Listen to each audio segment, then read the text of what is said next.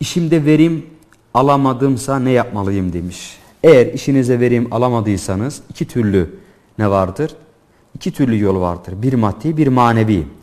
Bir defa işinizi neyle kurdunuz? Eğer işinizi gerçekten işinizi gerçekten faiz paralarıyla kurduysanız eğer oraya bir e, ne faiz parası bulaştıysa e, bu şekilde ne olmaz? O işte bir bereket olmaz.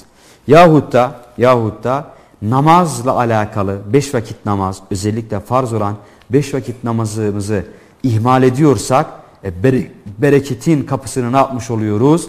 Bereketin kapısını kapatmış oluyoruz. E, bununla beraber de e, rızıkın genişlemesiyle alakalı Peygamberimiz Vakıa suresini Vakıa suresini 27. cüzün cüz olarak söyleyeyim 27. cüzün e, baştan aşağı doğru indiğimiz zaman 12. sayfası 12. sayfasına baktığımız zaman orada Vakıa suresi vardır.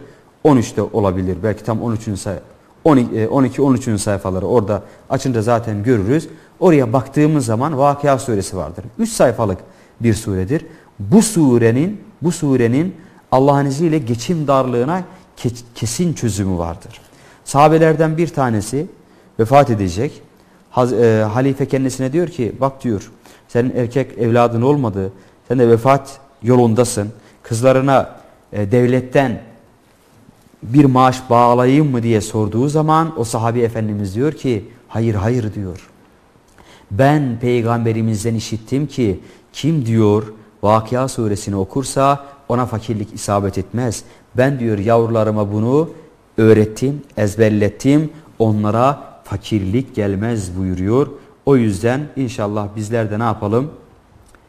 Bu sureyi mümkünse iş yerimizde okuduğumuz takdirde inşallah rızkımız genişler.